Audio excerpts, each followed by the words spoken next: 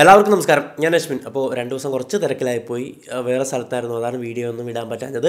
എന്തായാലും എല്ലാവരും സുഖമായിട്ടിരിക്കുമെന്ന് പ്രതീക്ഷിക്കുന്നു. അങ്ങനെ കാര്യങ്ങളൊക്കെ ആയിട്ട് അടിച്ചു പൊളിച്ച് പോവുക. ഇവിടെ ഇപ്പോൾ അർത്തുങ്കപ്പള്ളി പെരുന്നാളാണ് മെയിനായിട്ട് ഞങ്ങളുടെ തൊട്ട് അടുത്താണ്. അപ്പോൾ മിക്ക ദിവസവും അവിടെയൊക്കെ ഇങ്ങനെ പോയി അടിച്ചു പൊളിച്ച് നടക്കുവാണ്. അപ്പോൾ അതൊക്കെ തന്നെ കാരണം സത്യം പറഞ്ഞു കഴിഞ്ഞാൽ എന്തായാലും ഈ ഒരു കുറച്ച് ദിവസത്തിനുള്ളിൽ ഒരാഴ്ചയ്ക്കുള്ളിൽ കേരളത്തിൽ ഒരുപാട് സംഭവങ്ങൾ നടന്നിട്ടുണ്ടായിരുന്നല്ലോ. ഒരുപാട് നമ്മളെ എല്ലാവരും ശ്രദ്ധിച്ച് നമ്മളെല്ലാവരും ചർച്ച ചെയ്യപ്പെട്ട ഒരുപാട് കാര്യങ്ങൾ സംഭവിച്ചിട്ടുണ്ടായിരുന്നു.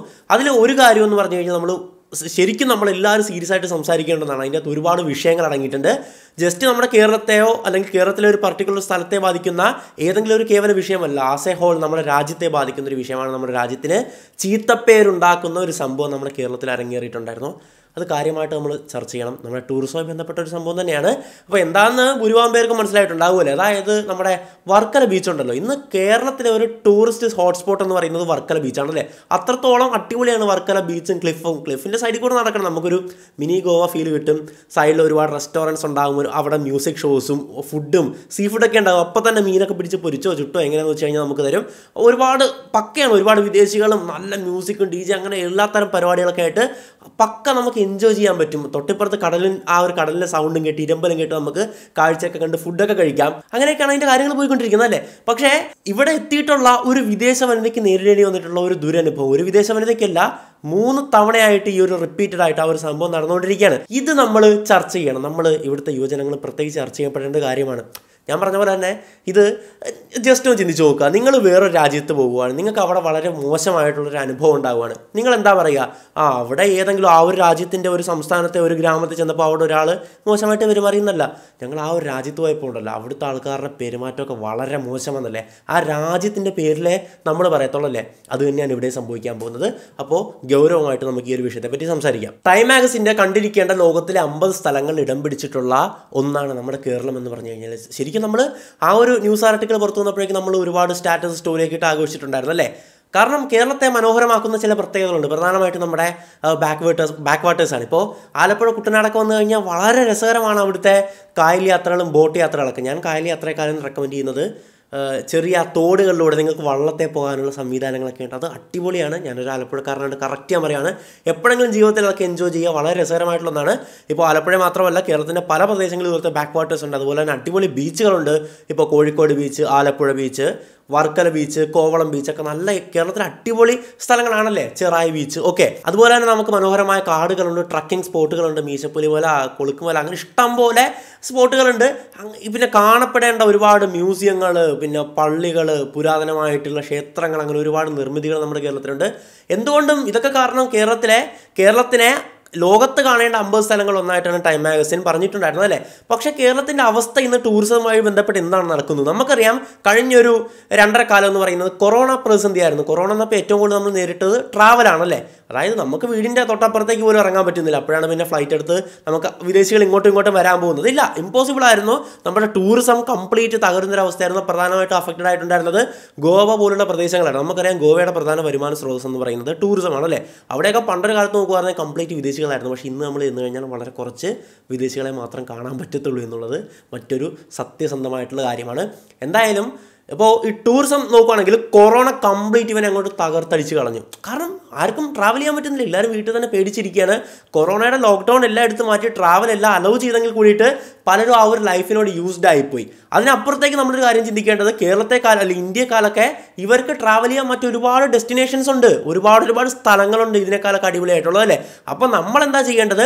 നമ്മുടെ നാട്ടിൽ ടൂറിസത്തെ പ്രൊമോട്ട് ചെയ്യാനുള്ള എല്ലാത്തരം കാര്യങ്ങളും ഇവർ നടപ്പിലാക്കുക. കൂടുതൽ ടൂറിസ്റ്റേഴ്സിനെ ആകർഷിക്കുക. അതാണ് അവിടെ ഉപയോഗിക്കുന്ന വാക്കല്ലേ. ടൂറിസ്റ്റേഴ്സിനെ ആകർഷിക്കുകയാണ് നമ്മൾ വേണ്ടത്. അല്ലാതെ ആ ഇവിടെ വന്നിട്ട് കണ്ടിട്ട് പോക്കോ ഞങ്ങൾ സൗകര്യം ചെയ്തു തരാം. അങ്ങനെയല്ല. നമ്മൾ കൂടുതൽ ആൾക്കാരെ ഇങ്ങോട്ട് വരാനായിട്ടുള്ള എല്ലാത്തരം സൗകര്യങ്ങളും എല്ലാത്തരം പദ്ധതികളും ആവിഷ്കരിക്കുക. അത് സർക്കാരിന്റെ ഭാഗത്തു നിന്നും അതുപോലെ തന്നെ ഡിസ്ട്രിക്ട് ടൂറിസം പ്രൊമോഷൻ കൗൺസിലൊക്കെയാണ് നടപ്പിലാക്കിക്കൊണ്ടിരിക്കുന്നത് അല്ലേ? പക്ഷേ വർക്കലയെ സംബന്ധിച്ച് ഇതൊക്കെ കാര്യമായിട്ട് നടക്കുന്നുണ്ട്. സർക്കാരിന്റെ ഭാഗത്ത് നിന്ന് എന്താണ് അവിടെ ചെയ്തുകൊണ്ടിരിക്കുന്നത് എന്നും നമുക്ക് സംസാരിക്കാം. നമ്മുടെ ടൂറിസ്റ്റ് സ്പോട്ടുകളൊക്കെ നോക്കിക്കഴിഞ്ഞാൽ ഏറ്റവും കൂടുതൽ അവിടെ വിസിറ്റ് ചെയ്യുന്നത് മലയാളി തന്നെയായിരിക്കും. പക്ഷേ ഇന്നത്തെ ഒരു അവസ്ഥ എന്താണ്? ഞാൻ കഴിഞ്ഞ വീഡിയോയിൽ പറഞ്ഞ പോലെ തന്നെ ഭൂരിഭാഗം വിദേശത്തേക്ക് പോയിക്കൊണ്ടിരിക്കുകയാണ്. നമ്മുടെയൊക്കെ സുഹൃത്ത് വലയത്തിലെ നല്ലൊരു ശതമാനം ആൾക്കാരും വിദേശത്തെത്തി കഴിഞ്ഞു യു കെ അങ്ങനെ കാനഡ ജർമ്മനി അങ്ങനെ ഒരുപാട് രാജ്യങ്ങളിലേക്ക് പോയി കഴിഞ്ഞു അപ്പോൾ ഇതിനെപ്പറ്റി കൂടുതൽ മനസ്സിലാക്കണമെങ്കിൽ മലയാളി ഇവിടെ കേരളത്തിൽ നിന്നിട്ട് കാര്യമില്ല എന്നുള്ള ചോദ്യത്തിന് ഉത്തരം കിട്ടണമെങ്കിൽ മലയാളിയൻ മൈഗ്രേഷൻ എന്നുള്ളൊരു ഓഡിയോ ബുക്ക് ഇന്ത്യയിലെ ലാർജസ്റ്റ് ഓഡിയോ ബുക്ക് പ്ലാറ്റ്ഫോം ആയിട്ടുള്ള കുക്ക് ഓഫ് മിൽ അവൈലബിൾ ആണ്. കുക്ക് ഓഫ് മിൽ മാത്രമല്ല ഒരുപാട് ഓഡിയോ ബുക്ക് സമ്മറീസും ഒറിജിനൽസ് ഒക്കെ അവൈലബിൾ ആണ്. കുക്ക് ഓഫും ഇപ്പോൾ നിങ്ങൾക്ക് നാൽപ്പത്തൊമ്പത് രൂപയ്ക്ക് മുതൽ ഉപയോഗിച്ച് തുടങ്ങാൻ സാധിക്കുന്നതാണ്. മാത്രമല്ല ആദ്യത്തെ മാസത്തിൽ മന്ത്ലി സബ്സ്ക്രിപ്ഷന്റെ അമ്പത് ശതമാനം ഡിസ്കൗണ്ട് ഇപ്പോൾ ലഭിക്കും. അതിന് വേണ്ടിയിട്ട് ഇവിടെ കാണുന്ന കൂപ്പൺ കോഡ് ആയിട്ടുള്ള എം ബി ഫിഫ്റ്റി എന്ന് പറയുന്ന കോഡ് ഉപയോഗിച്ചാൽ മാത്രം മതി. ഇത് ഡൗൺലോഡ് ചെയ്യാനുള്ള ലിങ്ക് ഡിസ്ക്രിപ്ഷൻ ബോക്സിലും കമന്റ് ബോക്സിലും പിൻ ചെയ്ത് വെച്ചേക്കാം. എന്താണ് വർക്കല ബീച്ചിൽ സംഭവിച്ചത്? ഈ ഒരു കാര്യം പുറത്തറിയാൻ കാരണം എന്തെന്ന് പറഞ്ഞു കഴിഞ്ഞാൽ അവിടെ ഉണ്ടായിരുന്ന ഒരു വ്ളോഗറാണ് ആ വ്ളോഗർ ഈ ഒരു കാര്യം പക്കയായിട്ട് ഒരു വീഡിയോ എടുത്തിട്ട് സാമൂഹ്യ മാധ്യമങ്ങളിൽ ഇൻസ്റ്റാഗ്രാമിലും യൂട്യൂബിലൊക്കെ പോസ്റ്റ് ചെയ്തു. അങ്ങനെ ഇങ്ങനത്തെ ഒരു സംഭവം നടന്നതായിട്ട് നമ്മുടെ നാട്ടുകാരും മാധ്യമം മീഡിയാസ് പറയുന്നത് അതായത് സെയിം കാര്യം നടക്കുന്നത് മൂന്നാമത്തെ തവണയാണ്. ആദ്യമായിട്ട് ഈ വ്ലോഗർ അവിടെ പോകുമ്പോഴേക്കും അവർ കണ്ട കാഴ്ച എന്ന് പറഞ്ഞു കഴിഞ്ഞാൽ അവിടെ ഇപ്പോൾ വർക്കല ബീച്ചിൽ ഒരുപാട് വിദേശ വനിതകൾ വരാറുണ്ടല്ലേ? വിദേശ വനിതകൾ അവിടെ വർക്കല ബീച്ചിലുള്ളൊരു വിനോദമാണ് സർഫിങ് എന്താണ് സർഫിങ് എന്ന് എല്ലാവർക്കും അറിയാമല്ലോ. അത് നമ്മുടെ വർക്കല ബീച്ചിലുണ്ട് നമുക്കത് പഠിക്കാൻ പ്രാക്ടീസ് ചെയ്യാൻ തുടങ്ങിയ കാര്യങ്ങളൊക്കെ ഉണ്ട്. അതിന് കൃത്യം കുറച്ച് ഫീസൊക്കെ കൊടുക്കേണ്ടി വരും. അങ്ങനെ സർഫിങ് നടത്തിക്കൊണ്ടിരിക്കുകയായിരുന്നു ഒരു വിദേശ വനിത. അപ്പോൾ അവർ സർഫിങ് നടത്തുമ്പോൾ എങ് എങ്ങനത്തെ ഡ്രസ്സാണ് ധരിക്കുന്നത് എന്തായാലും സാരിയോ പർദ്ദയോ കൊടുത്തൊന്നും പോകാൻ പറ്റത്തില്ല അല്ലേ കൃത്യമായിട്ടുള്ള ബിക്കിനി അത് തന്നെയാണ് അവർ ധരിച്ചിട്ടുണ്ടായിരുന്നത്. അവിടെ ആർക്കും പ്രശ്നമില്ല. ഇത് അതല്ലാതെ പിന്നെ എന്ത് ഡ്രസ്സ് ഇട്ട് സർഫിങ് നടത്താനാണ്? അല്ലെങ്കിൽ ബീച്ചിൽ ബിക്കിനി അല്ലാണ്ട് പിന്നെ എന്താണ് ഇടേണ്ടത്? ഓക്കെ പക്ഷേ ഇത് അവിടെ കണ്ടുകൊണ്ടിരുന്ന ഫിറോസ് ഖാൻ എന്ന് പറയുന്ന ഒരു വ്യക്തിക്ക് പിടിച്ചില്ല. അയാൾ ഫസ്റ്റ് ദിവസം വന്നിട്ടുണ്ടായിരുന്നത് ഒരു കത്തി എടുത്തുകൊണ്ടാണ്. കത്തി എടുത്തുകൊണ്ട് ആ വിദേശ വനിതയെ ഭീഷണിപ്പെടുത്തുകയാണ്. ഇതിവിടെ പറ്റത്തില്ല. നിങ്ങളുടെ ബിക്കിനി നിങ്ങളുടെ ശരീര പ്രദർശനമൊന്നും ഇവിടെ നടക്കത്തില്ല. ഇത് കേരളമാണ്. ഇവിടെ ഈ പരിപാടിയും നടക്കത്തില്ല. സംസ്കാരം മറ്റേതാണ് ഇതാന്നൊക്കെ പറഞ്ഞിട്ട് അവരെ ആ ഡ്രസ്സിങ്ങിന്റെ പേരിൽ ബീച്ചിൽ സർഫിംഗ് നടത്തുമ്പോൾ ബിക്കിനി ഇട്ടതിന്റെ പേരിൽ അവരെ ഷെയിം ചെയ്യുകയാണ് അവിടെ. ബീച്ചിൽ ബിക്കിനി ധരിച്ചെന്ന പേരിൽ വിദേശ വനിതകൾക്ക് നേരെയുള്ള അതിക്രമങ്ങൾ പതിവാവുകയാണ്. സോ ഞാനിപ്പോ എടവ ബീച്ചിലാണ് നിൽക്കുന്നത് അപ്പൊ ഞാൻ രണ്ടു ദിവസം മുമ്പ് ഒരു വീഡിയോ ഇട്ടിരുന്നു. ഒരു ഫോറിനറിനെതിരെ ഒരു ആൾ വന്ന് അവരുടെ വേഷം വേഷം അതായത് അവർ ബിക്കിനിയാണ് ഇട്ടിരിക്കുന്നതെന്ന് പറഞ്ഞ് അവരെ കത്തി കാണിച്ച് പേടിപ്പിക്കുന്ന ഒരു വീഡിയോ ഞാൻ ഇട്ടിരുന്നു. കേരള പോലീസിനെയും റിയാസിനെയും എല്ലാരെയും ടാഗ് ചെയ്തിട്ടിട്ട വീഡിയോ ആണ്. പക്ഷെ ഒരു ആക്ഷനും ഉണ്ടായില്ല. വീണ്ടും ആ സംഭവം നടന്നുകൊണ്ടാണ് ഞാൻ വീഡിയോ ഇടാൻ ആ വീഡിയോ ഇടാൻ പ്രേരിതയായത്. പക്ഷെ ഇന്നിപ്പോ മൂന്നാമത് ഇൻസിഡന്റ് ആണ്. ഇപ്പൊ നിങ്ങൾ ഈ കാണുന്ന ഈ ഫോറിൻ ലേഡി ഇവരെ ഇവരുടെ വസ്ത്രത്തിന് വേണ്ടി അയാൾ സെയിം ആൾ വന്നിട്ട് കുപ്പി ഒട്ടിച്ച് വന്ന് പേടിപ്പിക്കുകയാണ് ചെയ്തത്. അങ്ങനെ അവിടെ ഉണ്ടായിരുന്ന ഈ ഒരു വ്ലോഗറും എല്ലാം പോലീസിനെയൊക്കെ വിളിച്ചു പറഞ്ഞു നോ റെസ്പോൺസ് വർക്കലയിൽ ഒരു ഫോറിൻ ലേഡി നേരിട്ടിട്ടുള്ള അവസ്ഥയാണ്. പോലീസിനെ വിളിച്ചു പറഞ്ഞു ഒരു ഇതുമില്ല. രണ്ടാമതും ഈ ഒരു പ്രശ്നം നടക്കുകയാണ്. അപ്പോഴും ആ- ഒരു വ്ലോഗർ അവിടെ തന്നെയുണ്ട്. ഈ സെയിം ആൾ തന്നെയാണ് പ്രശ്നം ഉണ്ടാക്കുന്നത് നമ്മൾ ആലോചിക്കുക. ഫിറോസ് ഖാൻ എന്ന് പറയുന്ന ഒരു വ്യക്തി. അപ്പോൾ രണ്ടാമത് അയാൾ കൊണ്ടുവന്നിട്ടുണ്ടായിരുന്ന ഒരു ബിയർ ബോട്ടിൽ തല്ലിപ്പൊട്ടിച്ച് ഇങ്ങനെ കുത്താൻ നമ്മൾ സിനിമയിൽ കണ്ടിട്ടുണ്ടല്ലോ. അതുപോലെ വന്ന് മറ്റൊരു വിദേശ വനിത ഒരു ഫോറിൻ ലേഡിയെ ഭീഷണിപ്പെടുത്തിയാണ്. സി നമ്മൾ ചിന്തിക്കേണ്ട കാര്യം എന്താണ്? അല്ല ബിക്കിനി അല്ലാണ്ട് പിന്നെ എന്ത് വേഷമാണ് അവിടെ ധരിക്കേണ്ടത് ഇവർ ഞാൻ പറഞ്ഞ പോലെ സാരി ഉടുത്ത് സർഫ് ചെയ്യണമെന്നാണ് ഇയാൾ പറയുന്നത്. ഇയാൾ ഇതെന്ത്? സത്യം പറഞ്ഞു കഴിഞ്ഞാലേ ഭയങ്കര ദുരന്തമായിട്ടുള്ള അവസ്ഥയാണ് നമ്മുടെ ചില ആൾക്കാരുടെ. ഇയാളെ പോലുള്ളവരെയൊക്കെ നമ്മൾ മലയാളികൾ നല്ലതുപോലെ സ്വീകരിക്കേണ്ടതാണ്. പക്ഷേ അതും ഒന്നും പറയുന്നില്ല. പറഞ്ഞു കഴിഞ്ഞാൽ പിന്നെ ഞാൻ വല്ലതും പറഞ്ഞതാവും എന്തായാലും സെക്കൻഡ് ടൈമും സെയിം സിറ്റുവേഷൻ സംഭവിക്കുകയാണ്. ഇയാൾ പൊട്ടിച്ച ബിയർ ബോട്ടിലുമായിട്ട് ഈ ഒരു ഫോറിൻ ലേഡിയെ ഭീഷണിപ്പെടുത്തിയാണ് ബിക്കിനി ഒന്നും പറ്റത്തില്ല എന്ന് പറഞ്ഞിട്ട് ഭയങ്കര അവിടെ ഷൗട്ടിങ്ങും കാര്യങ്ങളൊക്കെ ആയി. അപ്പോഴേക്കും ഈ ഒരു വ്ളോഗർ അതിന്റെ വീഡിയോ എടുത്തിട്ട് സോഷ്യൽ മീഡിയ പോസ്റ്റ് ചെയ്യാണ്. കേരള പോലീസിനെയും നമ്മുടെ ടൂറിസം മന്ത്രിയായിട്ടുള്ള മുഹമ്മദ് റിയാസിനെ എല്ലാം ടാഗ് ചെയ്തിട്ടുണ്ടായിരുന്നു. മാത്രമല്ല പോലീസിനെ വിളിച്ചു. ഒരു മണിക്കൂർ കഴിഞ്ഞു. നോ റെസ്പോൺസ് ആരും വന്നില്ല. മൂന്നാമത്തെ തവണയും സെയിം സിറ്റുവേഷൻ നടക്കുകയാണ്. അപ്പോഴും ഈ കുറ്റവാളി എന്ന് പറഞ്ഞാൽ ക്രിമിനൽ എന്ന് പറഞ്ഞു കഴിഞ്ഞാൽ ഫിറോസ് ഖാൻ തന്നെയായിരുന്നു. അയാൾ വീണ്ടും ബിയർ ബോട്ടിലും പൊട്ടിച്ച് വേറൊരു വനിതയ്ക്ക് നേരെ വരികയാണ്. വർക്കല ബീച്ചിൽ മിക്ക ദിവസവും അവിടെ ഫോറിൻ ലേഡീസൊക്കെ വരാറുണ്ട്. അവിടെ സർഫിംഗ് നടത്താറുണ്ട് പ്രാക്ടീസ് ചെയ്യാറുണ്ട്.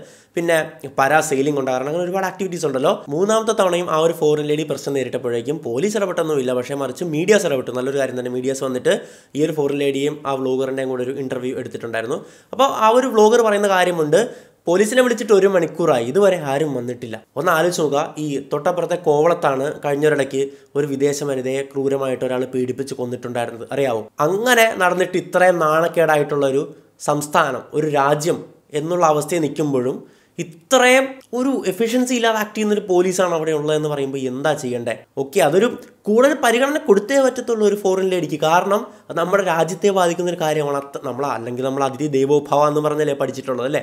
എന്ന് ഒരു മണിക്കൂർ കഴിഞ്ഞിട്ട് അവിടെ പോലീസ് വന്നിട്ടില്ല എന്ന് പറയുമ്പോഴേക്കും എന്തിനാണ് പിന്നെ അവർ അങ്ങനെ ഇരിക്കുന്നത് അവിടെ? എന്ത് ഉത്തരവാദിത്തം അവർക്കുള്ളത്? വളരെ കഷ്ടമായിട്ടുള്ള കാര്യമാണ് പോലീസിന്റെ ഭാഗത്ത് നിന്ന് സംഭവിച്ചിട്ടുണ്ടായിരുന്നത്. നമ്മൾ വിദേശ രാജ്യങ്ങളൊക്കെ ആണെങ്കിൽ നയൻ വൺ വൺ നമ്പർ വിളിച്ചു കഴിഞ്ഞാൽ എത്ര മിനിറ്റിനുള്ളിൽ റിപ്പോർട്ട് ചെയ്യുന്നവർ കറക്റ്റ് പറയും. അതാണ് അവരുടെ എഫിഷ്യൻസി ഓരോ കോളിനും അറ്റൻഡ് ചെയ്യുന്ന ടൈം അവർക്കുണ്ട് ഇത്ര മിനിറ്റ് എന്നുള്ളതാണ് അവരുടെ ഒരു ടൈം ഒരു മിനിമം ടൈമിനുള്ളിൽ അവരവിടെ എത്തിയിരിക്കും. പക്ഷേ ഇവിടെ ഒരു മണിക്കൂർ ആക്രമിക്കപ്പെട്ടതാകട്ടെ അല്ലെങ്കിൽ ഷെയിം ചെയ്യപ്പെട്ടതാകട്ടെ ഒരു ഫോറിൻ ലേഡി എന്നിട്ടും ഒന്നും ചെയ്തില്ല. പക്ഷേ പിന്നീട് ഈ ഒരു സംഭവം വലിയ വാർത്തയായപ്പോഴേക്കും പോലീസ് ഇടപെട്ട് ഫിറോസ് ഖാനെ ഉടനെ അറസ്റ്റ് ചെയ്തു. നല്ല കാര്യം.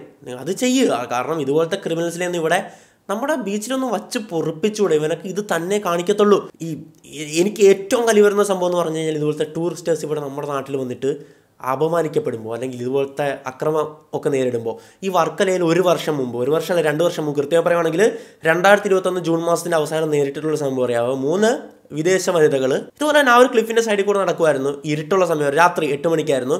ഒരു ഏതോ ഒരുത്തം വന്നിട്ട് ഈ സെക്സ് വേണമെന്ന് പറഞ്ഞിട്ട് ഇവരുടെ ഇവരെ പിടിക്കാൻ വേണ്ടി പുറകെ ഓടുകയാണ്. അതും ഇയാൾ താഴത്തെ ബോട്ടം ഭാവം കഴിച്ചിട്ട് ഡ്രസ്സൊന്നും ഇല്ലാതെ ഇവരുടെ പുറകെ ഓടുകയാണ്. ഇവർ ഓടി രക്ഷപ്പെട്ടു. അത് വാർത്തയായിട്ടുണ്ടായിരുന്നു. അത് കഴിഞ്ഞിട്ടാണെന്ന് തോന്നുന്നു കോവളത്ത് ഒരു വിദേശ വനനെ തട്ടിക്കൊണ്ടുപോയിട്ട് റേപ്പ് ചെയ്ത് കൊന്നിട്ടുണ്ടായിരുന്നത്. പിന്നെ റിപ്പോർട്ട് ചെയ്തിട്ടുള്ള മറ്റൊരു വാർത്തയുണ്ട്. വർക്കല ബീച്ചിൽ സാമൂഹ്യ വിരുദ്ധരുടെ അരിഞ്ഞാട്ടം. അവിടെ നട്ടിട്ടുണ്ടായിരുന്ന മരങ്ങളും ചെടികളും എല്ലാം ഇവരെ വെട്ടിക്കളഞ്ഞു. അപ്പോൾ ഇത്രത്തോളം സാമൂഹ്യ വിരുദ്ധരുടെ അഴിഞ്ഞാട്ടം നടക്കുന്ന ഒരു സ്ഥലമാണ് ഈ പറയുന്ന പ്രദേശങ്ങൾ എന്നുള്ളത്. അപ്പോൾ അവിടെ എന്താണ് ചെയ്യേണ്ടത്? സാധ്യ സാധാരണഗതിയിൽ രണ്ട് മൂന്ന് പോലീസുകാരൊക്കെ ഡ്യൂട്ടിക്ക് ഇടുന്നത് ഇപ്പോൾ മറ്റ് ബീച്ചുകളിലൊക്കെ പോകുമ്പോൾ ഞാൻ കണ്ടിട്ടുണ്ട്. പോലീസുകാരോ അല്ലെങ്കിൽ ബന്ധപ്പെട്ട സുരക്ഷാ ഉദ്യോഗസ്ഥരോ അവിടെ ആ റോന്ത് ഇങ്ങനെ ചുറ്റുന്നുണ്ടായിരിക്കും. അവരെ ഡ്യൂട്ടി കിട്ടിയിട്ടുണ്ടാവും. നല്ല കാര്യമല്ലേ അതൊക്കെ? കാരണം നമുക്ക് എന്താ ഒരു പോലീസുകാരൻ ഒരു സ്ഥലത്തുണ്ടെന്ന് പറഞ്ഞു കഴിഞ്ഞാൽ നമുക്ക് സുരക്ഷ സുരക്ഷിതത്വമാണ് തോന്നുന്നത്. അല്ലാതെ പേടിയല്ല തോന്നേണ്ടത്. ഇപ്പോൾ നമ്മൾ ഏതെങ്കിലും ബീച്ചിൽ പോകണം. അപ്പോൾ അവിടെ പോലീസ് കൊണ്ട് എടാ പോലീസ് അങ്ങനെയല്ല. പോലീസുണ്ട് നമുക്ക് പ്രശ്നങ്ങളൊന്നുമില്ല നമ്മൾ സേഫ് ആയിരിക്കും എന്നുള്ള ചിന്തയായിരിക്കണം നമുക്ക് ഉണ്ടാകേണ്ടത്. കാരണം അങ്ങനെയാണ് ചിന്തിക്കേണ്ടത്. അപ്പോൾ പക്ഷേ ഇവിടെ പോലീസിന്റെ നിഷ്ക്രിയത്വം നമ്മളെ വല്ലാതെ ബുദ്ധിമുട്ടിക്കുന്നുണ്ട്. ഇനി വേറൊരു സംഭവം പറയാം. കഴിഞ്ഞിടയ്ക്കാണ് പാകിസ്ഥാനിൽ ഇതുപോലെ ഒരു ടൂറിസ്റ്ററിന് വലിയൊരു ദുരന്തം നേരിടേണ്ടി വന്നത്. ഒരു വിദേശ ടൂറിസ്റ്റാണ് വ്ളോഗറാണ്. സംഭവം എന്താ നോക്കുവാണെങ്കിൽ ഇതുപോലെ തന്നെ ബീച്ചിൽ പോകുമ്പോൾ അവിടെ കുതിര സവാരി അല്ലെങ്കിൽ ഒട്ടക സവാരി ഉണ്ട് അപ്പോൾ ഈ ഒട്ടക സവാരിയൊക്കെ നടത്തുന്ന ആൾക്കാർ എന്താ പറയുന്നത്? ഒരു റൈഡിന് ഇത്രയും റുപ്പി എന്നും പറഞ്ഞാണ് കയറ്റുന്നത് പക്ഷേ അവിടം വരെ നടത്തിയിട്ട് അവർ പറയും ആ ഇത് ഈ ഒരു റൈഡിൽ പത്ത് റൈഡ് ഉൾപ്പെട്ടിട്ടുണ്ടായിരുന്നു. നിങ്ങൾ ഇത്രയും പൈസ തന്നെ. പത്തരട്ടി പൈസ തന്നെ അല്ലെങ്കിൽ നൂറരട്ടി പൈസ തന്നെ എന്നും പറഞ്ഞിട്ട് ഭയങ്കരമായിട്ട് ഭീഷണിപ്പെടുത്തുവാണ്. ഈ കുതിരയെ നിർത്തത്തില്ല. അങ്ങനെ ആകെപ്പാടെ വെറുപ്പിച്ച് ഇതാക്കുവാണ്. അത് വലിയ വാർത്തയായിട്ടുണ്ടായിരുന്നു. അന്ന് നമ്മുടെ ഇന്ത്യക്കാരനെ തെറി വിളിച്ചതാരാണ് പാകിസ്ഥാനെ. അല്ലാതെ ആ ബീച്ചിൽ ആ രണ്ട് വ്യക്തികളെ ആ ടൂറിസ്റ്റേഴ്സിനെ ഇതുപോലെ കാണിച്ച രണ്ട് വ്യക്തികളല്ല ചീത്ത പറയുന്നത്. മറിച്ച് നമ്മളെ രാജ്യത്തെ എന്താണെന്നല്ലേ ചോദിക്കത്തുള്ളൂ അല്ലേ? ഇത് തന്നെയാണ് നമ്മുടെ സ്ഥലത്ത് നടക്കാൻ പോകുന്നത്. ഇവരൊക്കെ ചെന്നിട്ട് കേരളത്തിൽ ഒരാൾ ഇങ്ങനെ പെരുമാറിയെന്നല്ല. നമ്മൾ ആ ഇന്ത്യയിൽ പോയപ്പോൾ എനിക്ക് നേരിട്ടിട്ടുള്ള അനുഭവം എന്താണോ ഇങ്ങനെയൊക്കെയാണ് കേട്ടോ. നിങ്ങൾ പോകണ്ട. ഈ ഒരു ടൂറിസ്റ്ററിന് ഒരു വിദേശ ടൂറിസ്റ്ററിനെ സംബന്ധിച്ച് അവർക്ക് പോകാൻ ഒരുപാട് ഒരുപാട് രാജ്യങ്ങളുണ്ട്. എന്നിട്ടും അവർ കേരളത്തിലേക്ക് വരുമ്പോൾ നമ്മൾ മാക്സിമം അവരെ സപ്പോർട്ട് ചെയ്യാണ് വേണ്ടത്. അല്ലാതെ ഇതുപോലത്തെ അവസ്ഥകളൊക്കെ ഉണ്ടായി കഴിഞ്ഞു കഴിഞ്ഞാൽ എന്താ ചെയ്യുക ഇവിടെ നമുക്ക് എന്താ ചെയ്യാൻ പറ്റുക ഇവിടെ നമ്മുടെ ഭാഗത്ത് എന്താ വീഴ്ച എന്ന് പറഞ്ഞു കഴിഞ്ഞാൽ പോലീസിന്റെ അനാസ്ഥയാണ് സത്യം പറഞ്ഞു കഴിഞ്ഞാൽ ഈ ഒരു പ്രദേശത്ത് വീണ്ടും വീണ്ടും റിപ്പീറ്റഡ് ആയിട്ട് മൂന്നാമത്തെ തവണയാണ് ഇത് ഉണ്ടായത്. അത് വലിയ വാർത്തയായ ശേഷം മാത്രമാണ് പോലീസ് അയാളെ തൂക്കിക്കൊണ്ടുപോയത്. എന്താ അവസ്ഥ? ഇനി നമ്മുടെ നാട്ടിലെ ടൂറിസവുമായി ബന്ധപ്പെട്ട കാര്യത്തെ പറ്റി പറയുവാണെങ്കിൽ എനിക്ക് പലപ്പോഴും തോന്നിയിട്ടുണ്ട് നമ്മൾ മറ്റ് പല സംസ്ഥാനങ്ങളെ മാതൃയാക്കണമെന്ന് അതായത് നമ്മളൊക്കെ പലപ്പോഴും കേട്ടിട്ടുള്ളൊരു സംഭവമാണ് രാത്രി ഇറങ്ങി നടന്നു കഴിഞ്ഞാൽ പോലീസുകാരെ ഓടിച്ചു വിടുമെന്നുള്ളത് ഒന്ന് ആലോചിച്ച് നോക്കി രാത്രിയിൽ നമ്മുടെ സഞ്ചാര സ്വാതന്ത്ര്യം നിഷേധിച്ചുകൊണ്ട് നമ്മളെ അവിടുന്ന് ഓടിക്കുന്നു. ഇവർ പറയുന്ന പോയിന്റ് അതായത് ക്രൈം പ്രിവെന്റിയാണ് ഇപ്പോൾ ഡ്രഗ് സപ്ലൈ തുടങ്ങിയ കാര്യങ്ങളൊക്കെ നൈറ്റിലാണ് സംഭവിക്കുന്നത്. ശരിയാണ്. രാത്രിയാണ് ഇരുട്ടിന്റെ മറവിലാണ് ഏറ്റവും കൂടുതൽ പല ക്രൈംസ് സംഭവിക്കുന്നത് അല്ലേ? പക്ഷേ അതിന് പ്രതിവിധി രാത്രിയിൽ ഇറങ്ങി നടക്കുന്ന ആൾക്കാരെ അവരുടെ സഞ്ചാര സ്വാതന്ത്ര്യം നിഷേധിച്ച് വീട്ടിലേക്ക് പറഞ്ഞയക്കുക എന്നുള്ളതാണോ? അല്ല. ഇപ്പോൾ പുറത്തെ രാജ്യങ്ങൾ നോക്കുവാണെങ്കിൽ അവിടെയും രാത്രിയിൽ ഒരുപാട് ക്രൈംസ് നടക്കുന്നുണ്ട്. രാത്രിയിൽ മയക്കുമരുന്ന് കച്ചവടം അതും ഇതൊക്കെ നടപ്പുണ്ട്. എന്നും പറഞ്ഞിട്ട് അവിടെ രാത്രി ഇറങ്ങി നടക്കുന്ന അവരുടെ നൈറ്റ് ലൈഫിനെ ഇല്ലാതാക്കിക്കൊണ്ടല്ല അവർ ചെയ്യുന്നത്. നമ്മുടെ നാട്ടിൽ നല്ലൊരു നൈറ്റ് ലൈഫ് ഇല്ല. ഇവിടുത്തെ രീതി എന്താണ്? നേരെ ഇരുട്ടിക്കഴിഞ്ഞാൽ വീട്ടിൽ കയറി ഇരുന്നോളാം രാത്രി കറങ്ങി നടക്കുന്നവൻ എന്തോ കഞ്ചാവ് മയക്കുമരുന്ന് ഡീലറാണ്. ഇങ്ങനെയൊക്കെയുള്ള ചിന്താഗതികളൊക്കെ നമ്മുടെ നാട്ടിൽ നിൽക്കുന്നു അപ്പോൾ നമ്മുടെ നാട്ടിലെ ടൂറിസത്തിനെ അത് കാര്യമായിട്ട് ബാധിക്കുന്നുണ്ട്. അപ്പോൾ ഞങ്ങളൊക്കെ പണ്ട് കോളേജിലൊക്കെ പഠിച്ചുകൊണ്ടിരുന്നപ്പോഴേക്കും ചെങ്ങന്നൂർ പഠിക്കുമായിരുന്നു അപ്പോൾ ആലപ്പുഴയ്ക്കിടയ്ക്ക് പുട്ടും കട്ടനും അവിടെ ബൈക്കിൽ കഴിക്കാൻ പോകുമായിരുന്നു ഇടയ്ക്ക് വെച്ച് പോലീസ് പിടിച്ചിട്ടുണ്ട്. പിടിച്ചിട്ട് ചോദ്യം ചെയ്യുകയാണ് എന്തോ ഒരു ക്രിമിനൽസിനെ പോലെ. ഒന്ന് ആലോചിച്ച് നോക്കുക എന്താണ് ഞങ്ങൾ ചെയ്തത്? പാതിരാത്രിക്ക് ബൈക്കും എടുത്തിറങ്ങി ആ ചങ്ങനാശ്ശേരി എ സി റോഡിൽ കൂടി ഇങ്ങനെ പോവുകയാണ്. അപ്പോൾ നമ്മളെ നമ്മളെയൊക്കെ ട്രീറ്റ് ചെയ്യുന്ന വലിയ ക്രിമിനൽസിനെ പോലെയാണ്. എന്താ തെറ്റാ എന്ത് തെറ്റാ ചെയ്തത്? ഒരു തെറ്റും ചെയ്തില്ല. രാത്രി ബൈക്ക് ഓടിച്ച് കഴിക്കാൻ പോയി. ഒരു രസമല്ലേ? അപ്പോൾ ആ അങ്ങനത്തെ കാര്യങ്ങളൊക്കെ പ്രൊമോട്ട് ചെയ്ത് വിടണം. ഇവിടെ യങ്സ്റ്റേഴ്സിനൊക്കെ ടൂറിസവുമായി ബന്ധപ്പെട്ട് ഒരുപാട് കാര്യങ്ങളിലേക്ക് വേണ്ടി കോൺട്രിബ്യൂട്ട് ചെയ്യാൻ പറ്റും. അങ്ങനെയൊന്നും ഇല്ലാണ്ട് നമ്മുടെ ടൂറിസമൊക്കെ ഇതുപോലെ അതപ്പതിച്ച് പോകത്തേ ഉള്ളൂ എന്നുള്ളതാണ് വസ്തുതാപരമായിട്ടുള്ള കാര്യം. കൂടുതലായിട്ട് വിദേശികളെ ഫോറിൻ ടൂറിസ്റ്റേഴ്സിനെ ആണെങ്കിലും മറ്റ് സംസ്ഥാനത്തുള്ളവരാണെങ്കിലും ആകർഷിക്കാനുള്ള പദ്ധതികൾ നമ്മുടെ സർക്കാർ നടപ്പിലാക്കണം. ഇപ്പോൾ തന്നെ ന്യൂ ഇയറുമായി ബന്ധപ്പെട്ട് ന്യൂ ഇയറിന്റെ മുമ്പത്തെ ദിവസങ്ങൾ ഡിസംബർ മുപ്പത്തൊന്നല്ല അതിന്റെ മുമ്പ് ഉള്ള ദിവസങ്ങളുണ്ടല്ലോ. പല ബീച്ചിലും ബീച്ച് ഫെസ്റ്റിവലൊക്കെ സംഘടിപ്പിച്ചിട്ടുണ്ടായിരുന്നല്ലേ? അവിടെയൊക്കെ ഉണ്ടായിരുന്ന നിർദ്ദേശം എന്ന് പറഞ്ഞു കഴിഞ്ഞാൽ പത്ത് മണി മണിക്ക് പരിപാടി ക്ലോസ് ചെയ്തോളണമെന്നായിരുന്നു അത് സർക്കാരിന്റെ അല്ലെങ്കിൽ പോലീസ് ഉദ്യോഗസ്ഥരുടെ സംതിങ് എന്തായാലും ഗവൺമെന്റ് ഭാഗത്തു നിന്നുള്ള നിർദ്ദേശം എന്ന് പറഞ്ഞു കഴിഞ്ഞാൽ പത്ത് മണിക്ക് പരിപാടി നിർത്തി കഴിഞ്ഞോളൂ. ഇല്ലെങ്കിൽ പ്രശ്നങ്ങൾ സംഭവിക്കും എന്നുള്ളതാണ്. പ്രശ്നങ്ങൾ നേരത്തെ സംഭവിച്ചിട്ടുണ്ടെന്ന് പറഞ്ഞാൽ അതാണോ ഇതിന്റെ പ്രതിവിധി. ആ രാത്രിയിൽ അവിടെ വൈബും കാര്യങ്ങളൊക്കെ നമ്മൾ പ്രൊമോട്ട് ചെയ്ത് കൊടുക്കുകയല്ലേ വേണ്ടത്? ഇതൊക്കെ ഞാൻ കണ്ടറിഞ്ഞ് നട എല്ലാം അറി നമ്മൾ തന്നെ അനുഭവിക്കുന്ന ഒരു അവസ്ഥയാണ്. അതുകൊണ്ട് മനസ്സിൽ നിന്ന് എടുത്ത് പറഞ്ഞിട്ടുള്ള കാര്യങ്ങളാണ്. അപ്പോൾ ഇത്രയൊക്കെ പറയാനുള്ളൂ. പ്രൊമോട്ട് ചെയ്യുക നമ്മുടെ നാട്ടിലെ ടൂറിസത്തിനെ വലിയൊരു റവന്യൂ ജനറേറ്റ് ചെയ്യുന്ന ഒരു മേഖലയാണ് ടൂറിസം എന്നുള്ളത്. മാത്രമല്ല ഒരുപാട് പേര് പുറത്തുനിന്നുള്ള ആൾക്കാർ നമ്മുടെ കേരളത്തെ പറ്റി സംസാരിക്കുമ്പോഴേക്കും നമുക്കെന്നും അഭിമാനിക്കാൻ പറ്റുന്നതാണ് പക്ഷേ സംസാരിച്ചില്ലെങ്കിലും വേണ്ടില്ല. പക്ഷേ മറിച്ച് മോശം പറഞ്ഞാലോ അത് ഭയങ്കര നമ്മളെ ദുരന്തമായിട്ട് ബാധിക്കുന്നതാണ് അപ്പോൾ ചിന്തിക്കുക. മറ്റൊരു വീഡിയോയിൽ മറ്റൊരു വിഷയമായിട്ട് നമുക്ക് വീണ്ടും കാണാം. It's Madappally signing out